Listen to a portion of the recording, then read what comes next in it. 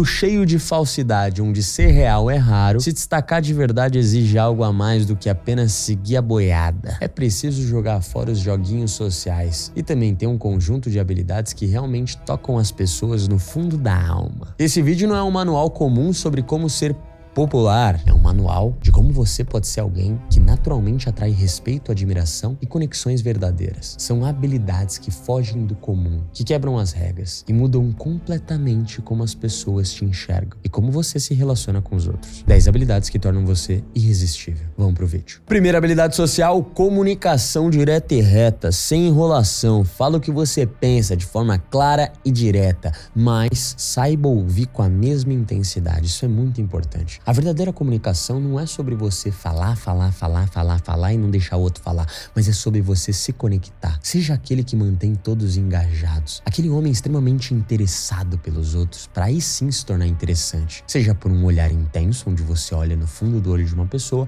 ou por palavras que acertam em cheio a alma do outro. Fale com calma, com tranquilidade, como eu falo aqui nos vídeos com vocês. Fale assim, desse jeito de forma lenta, tranquila e calma. Em uma conversa com uma pessoa, se você vai ver que essa pessoa não vai te respeitar mais, te admirar mais e te enxergar automaticamente como uma pessoa mais confiante. Quando você é direto, calmo, quando você não enrola, quando você tem gestos lentos e tranquilos, você mostra que você sabe exatamente quem é você e mostra que você também sabe exatamente o que você pensa sobre o mundo. Isso é extremamente atraente e gera muito, mas muito respeito. Segunda habilidade social, assertividade sem ficar pedindo desculpa. Para de ficar pedindo desculpa demais. Expressar suas necessidades e opiniões sem ficar pedindo desculpa toda hora é uma coisa que todo homem deve ter, porque mostra que você respeita a si mesmo. E se respeitar é a melhor forma de fazer os outros se respeitarem. Muita gente me pergunta, Fê, como que eu posso ser respeitado? Se respeite. Seja assertivo sem pedir desculpa demais. Assertividade é a linha, é uma linha tênue entre arrogância e passividade. Caminhe por essa linha. Se você nunca pede desculpa, mesmo quando você erra, você se torna uma pessoa extremamente arrogante. Agora, quando você é assertivo e mostra exatamente o que você pensa, o que você é, de forma tranquila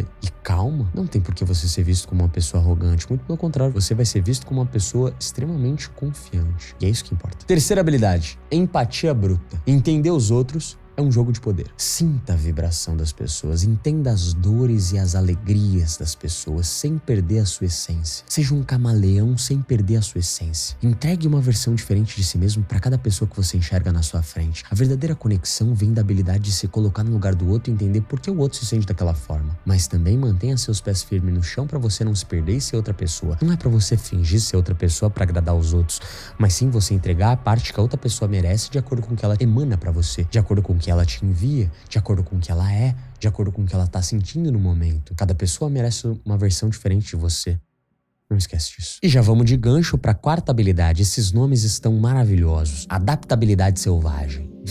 Eu adoro os meus nomes e os meus tópicos aqui, tá? Be like water, my friend. Seja como água, capaz de se adaptar a qualquer situação ou qualquer ambiente sem perder a sua forma. A flexibilidade é a marca dos grandes ou das grandes personalidades do mundo, aqueles que podem caminhar com reis e vagabundos com a mesma facilidade. Isso é bíblico, cara. Eu aposto que Jesus Cristo era um cara que poderia trocar ideia com o cara mais rico, fudido de todos e também com o mendigo da rua que não tinha nada. Essa habilidade é uma habilidade bíblica e para mim mim uma das habilidades que mais somou na minha vida como empresário. E foi uma habilidade que meu pai me ensinou. Se adaptar, ser um camaleão. Não é a mesma coisa que empatia. Empatia é você se colocar no lugar do outro, entender o outro. Adaptabilidade é você se adaptar. Você poder caminhar com qualquer pessoa, falar com qualquer pessoa sem julgamento. Isso é incrível. Quinta habilidade, seja um mestre na resolução de conflitos. Não foque no problema, seja o cara que busca a solução sempre, de qualquer situação. Conflitos, problemas e desafios são inevitáveis. Seja capaz de acalmar o fogo. Seja capaz de desarmar todos esses problemas e desafios com calma e inteligência. Você tem que focar em encontrar soluções, sem sacrificar seus princípios. Isso é uma arte, cara. Se você dominar isso, meu irmão, você se torna um solucionador de problemas. E confia em mim, cara.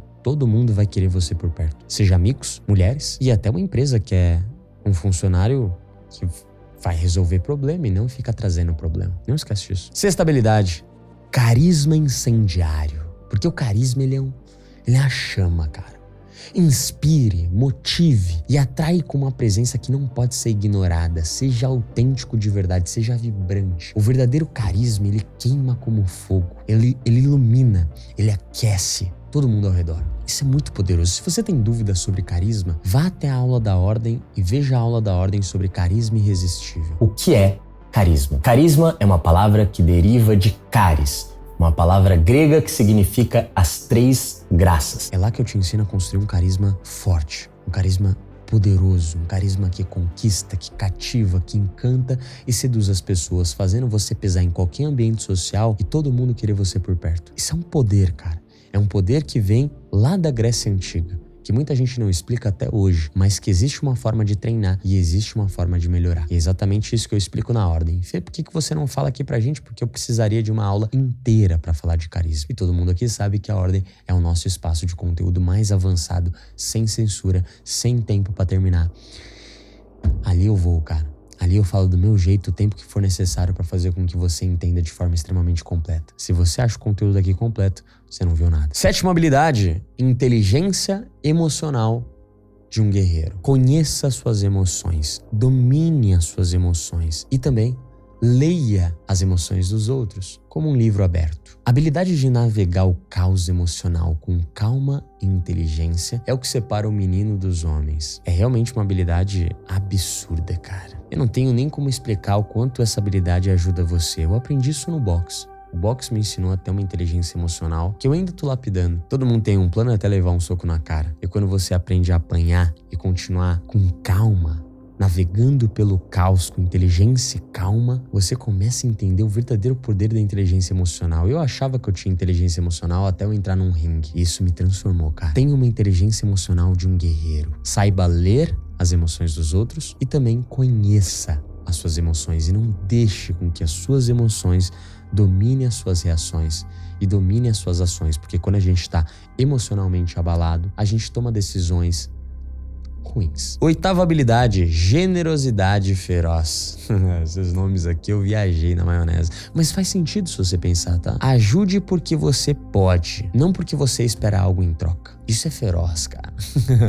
a generosidade verdadeira não conhece limites e não pede recompensa e nada em troca. Ela vem do coração e é sentida na alma. Quando você realmente quiser ajudar uma pessoa, ajude. Não espere nada de ninguém, não crie expectativa, não espere algo em troca daquela pessoa que você deu. Simplesmente agregue, simplesmente dê de bom grado, dê de coração, dê de alma, cara. Seja um cara que não espere nada em troca de ninguém. Generosidade verdadeira vem de dar algo e não esperar nada em troca. Realmente agregar porque você quer agregar, porque você sabe que tudo volta para você. A energia que você emana volta para você. E é isso que importa. Nona habilidade: presença inabalável. Quando você estiver com alguém, esteja lá de corpo e alma. Seja presente nas suas interações e nas suas conversas. O mundo está cheio de fantasmas, presos aos seus telefones celulares, preso no Instagram, no TikTok, na internet. Seja real, seja presente e as pessoas lembrarão de você. Seja olhando no fundo do olho de alguém, seja ouvindo cada palavra que sai na boca de alguém, seja olhando no olho ao ponto de ver a cor dos olhos da pessoa, ao ponto de imaginar uma bolha entre vocês dois ou entre você e um grupo que você está conversando. Quando você estiver falando com alguém, tem uma presença tão focada que as pessoas vão até se assustar no quanto você está prestando atenção nelas. E você vai se tornar inesquecível porque as pessoas não estão acostumadas a serem ouvidas a esse ponto. Isso é poderoso. Décima habilidade: humildade de lutador. Reconheça suas falhas, Aprenda com todas as pessoas e cresça. A verdadeira força vem da capacidade de se manter humilde, mesmo quando o mundo te coloca em um pedestal. Não esquece disso, isso é muito importante. Não deixe estímulos negativos acabar com a tua autoestima e tua confiança, seja um comentário negativo na internet, um comentário negativo no trabalho na roda de amigos, mas também não deixe com que um elogio ou alguns elogios ou o mundo inteiro te elogiando faça com que você ache que você é maior do que as pessoas e voe e vá embora. Lembra-te que és mortal não é melhor que ninguém, não. Só Deus. Não esquece disso. A única coisa que você tem que focar é ser melhor que ontem, não em ser melhor que os outros. E a melhor forma de você ser melhor que ontem é você aprender habilidades semanalmente. Estudar, ter conhecimento, porque o conhecimento liberta. E se você gosta de se desenvolver, gosta de evoluir e tá numa fase da vida que você quer sumir e voltar irreconhecível, com um conhecimento absurdo, com uma conversa absurda, com uma presença absurda, com uma comunicação absurda, com habilidades que as pessoas nunca imaginavam que você tinha, clique no primeiro link da descrição e entre para a ordem. Não é só um treinamento ou um curso, é um estilo de vida. As pessoas vivem pela ordem. As pessoas tatuam a rosa por honra à ordem. A ordem é uma comunidade que mudou nossa vida. Eu digo nossa porque eu sou professor da ordem, mas a ordem me transforma toda semana. Porque hoje a gente tem alunos absurdos que se transformaram e que também me ensinam muita coisa. A ordem é o melhor ambiente para você que quer evoluir, para você que quer sumir e voltar melhor. Esse é o teu momento. Talvez esse vídeo não seja uma coincidência. Eu espero vocês lá e pela ordem.